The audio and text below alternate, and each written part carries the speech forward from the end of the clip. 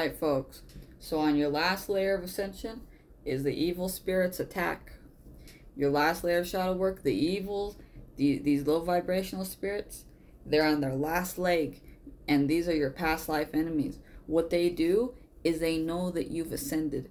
They know that you have enlightened, okay? They can read around your energy field. Like, I don't know how they do it, but you know, these lower vibrational beings. So, this is what I'm going to do. I'm going to post the healing session.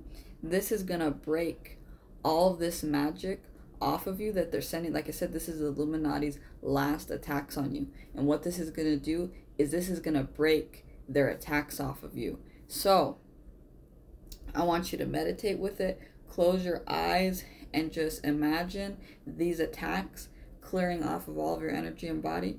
And they, they love to attack the root chakra, okay? So they love to break into your soul and make you like try to hurt other people, okay? So that's like, they love doing it. So play this healing session, meditate with it, and you will be protected.